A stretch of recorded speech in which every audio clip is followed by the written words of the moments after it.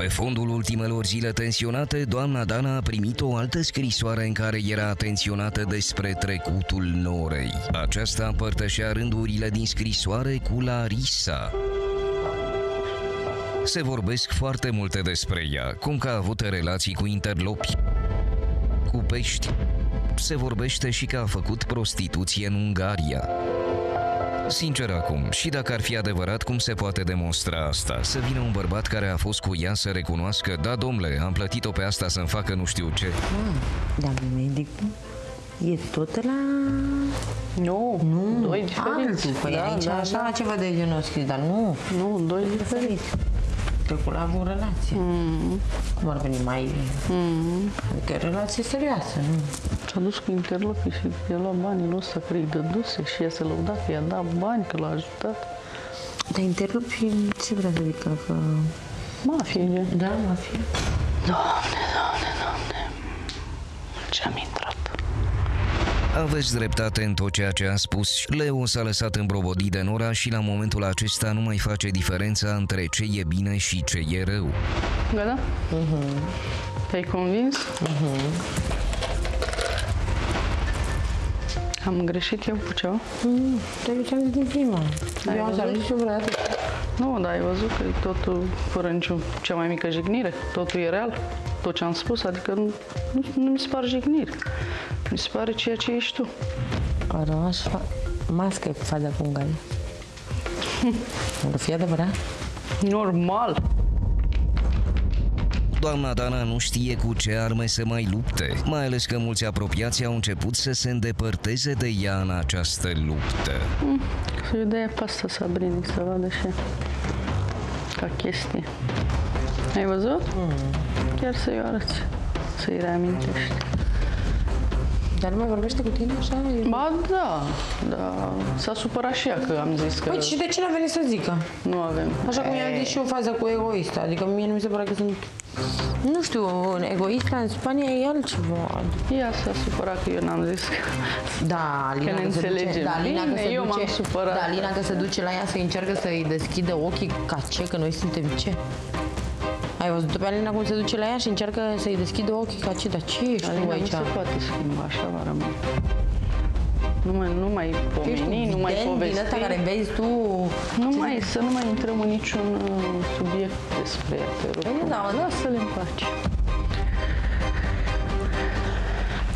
Capriciile iubirii Doamna Dana, ați primit așadar o scrisoare cu uh, lucrurile bă, similare pe care bă, le-a primit și Leo. Era semnată de aceeași persoană? Bănuiesc că da. Da, da, e- da. Aceeași persoană. Uh, cumva, poate, uh, persoana care a scris rândurile respective s-a gândit că Leo nu va arăta scrisoarea și atunci, uh, poate, din acest motiv, a trimis și dumneavoastră scrisoarea. Dar, dumneavoastră ați dat credibilitate 100% și îi explicați și Larisei treaba asta, că uh, faptul că în scrisoare se pomenește uh, despre Nora că ar fi făcut prostituție în uh, Ungaria și dădeați credibilitate fără să aveți uh, nu știu, dovadă? vreo dovadă. Spuneați, da, sigur este așa. Da, pentru că ea mi-a povestit ceva la început și eu am bănuit-o de atunci. Ce v-a și povestit? acum că a fost în Ungaria, că a fugit, că nu mai țin minte exact, o chestie legată de genul ăsta și am bănuit-o de atunci. Și nu m-a interesat practic dacă nu aveam nicio treabă. Am zis treaba ei, ce a făcut, a făcut, n-am intrat în detalii. Și acum cumva scrisoarea când a apărut mi-a confirmat ceea ce eu credeam că ea a făcut acolo. Da, atunci când v-a povestit Nora, ați bănuit-o că... Da, am bănuit, da, că ar fi făcut așa ceva acolo. Am, asta am simțit la momentul acela. Ea mi-a povestit foarte multe despre viața ei, despre cum s-a întâmplat Înainte lucrurile să în fie via- cu Leo, da? În momentul în care dumneavoastră și Nora aveați o relație apropiată. Da, da, da. Și acum cumva mi s-a confirmat mie ceea ce eu credeam atunci. Da, da, este o scrisoare semnată Mihaela. Mihaela sau, Mihaela, da. nu? Da, da. Ceva de genul ăsta. Vreți să vă spun ceva și eu pot să scriu scrisoarea Sigur. și să mă semnez Mihaela fără niciun fel de problemă. Sigur, dar cu presimțirile mele nu se poate pune nimeni și eu dacă ies afară eu am să investighez chestia asta, sigur. E adevărat, dar presimțirile nu cumva. țin uh, loc de dovezi Sigur concrete. că, dar e o presupunere de-a mea până la urmă. N-am învinovățit-o cu nimic, nu am scos-o la judecată, n-am făcut nimic. Am spus că asta simt, că ea a făcut lucrul ăsta. Dar aș vrea să vă întreb ceva. Veți face investigațiile astea doar dacă Nora va ieși de mână cu Leo de aici sau indiferent de situație? Nu. Uh, indiferent dacă mi se va cere ca de alți oameni ca cumva am, fi, am jignit-o sau am vrut să-i aduc vreun prejudiciu. În cazul acesta, în caz că va fi liniște când vom ieși afară, nu mă mai interesează persoana ei, se va termina da, tot liniște acolo. din partea cui, că tot n-am înțeles. Cine să vă ceară ce? Uh, dacă voi fi eu cumva bombardată cu niște mesaje că am jignit-o, că i-am adus nu știu ce, lucruri care nu știu dacă mi se par normale, dar nu știu, mă duc afară, acum sunt un pic sălbatică să zic aici. mă duc afară, nu știu ce va fi, chiar nu știu cu da, ce... eu vreau să vă întreb ceva. Luați în calcul și faptul că um, ar putea ca lucrurile acestea să nu fie adevărate și presimțirile dumneavoastră să fie înșelătoare? Nu. Nu? Nu. Nici măcar 1%. Totul mi se pare real. Adică nu, fac, nu iese fum până nu faci foc, părerea mea. Nu cred că cineva ar avea ceva cu ea să scrie așa ceva despre ea fără ca să știe ceva. Nu cred, niciodată nu s-a întâmplat. Am o vârstă, nu, am trecut prin foarte multe chestii, am o experiență de viață și cred că nu mă înșel. Cred. Da, doamna Dana, cred. dumneavoastră știți definiția prostituției, adică nu trebuie Știu. să... Știu tot, da, bineînțeles. Este o diferență între o femeie de moravuri ușoare sau rea de muscă și uh, o femeie care practică prostituția. Da, știu exact despre ce este vorba. Sper să nu mă înșel cu nimic, nu am acuzat-o de nimic, nu... Ați acuzat-o din moment ce susțineți că este o părere, este nu este o acuzație. Mi-am dat cu părerea. Cred că ea ar fi făcut Doamna acest Dana, lucru. Sigur, cu tot respectul, cred. cu tot respectul pentru dumneavoastră.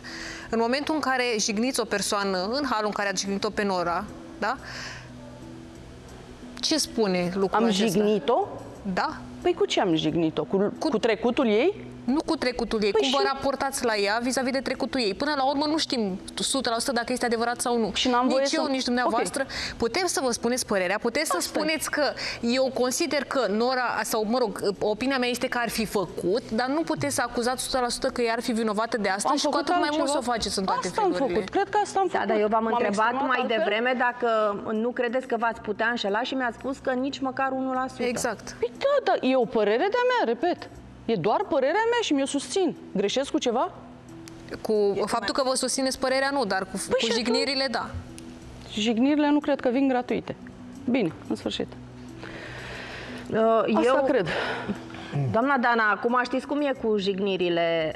Uh, nu există niciun motiv să jignești pe cineva. Chiar nu există niciun motiv. Din moment ce am fost implicată direct, eu cred că am avut tot dreptul să spun, să-mi spun părerea despre Nimeni ea. nu are dreptul, mă iertați. Aici uh, o să intervin și o să vă spun, nimeni nu are dreptul să jignească pe nimeni. Și puteți spune oamenilor lucrurile uh, așa cum le vedeți dumneavoastră, fără să-i jigniți, fără să le aduceți cuvinte care ce să vezi, mai devreme sau mai târziu va aduc dumneavoastră un prejudiciu. Sigur, mi-asum. Ok. Leo, uh, în ce stadiu mm. ești, sunteți? În momentul de față cum... nu mai suntem. În momentul de față nu mai sunteți. Adică suntem, dar ca persoane singulare. Eu cu mine și... Leo, tu și Nora sunteți un cuplu nu. sau nu? Nu. Nu, nu, nu mai suntem. Nu mai sunteți? Nu. Nora, tu știai, ați decis asta împreună sau... Da. Ok. Bun. Um,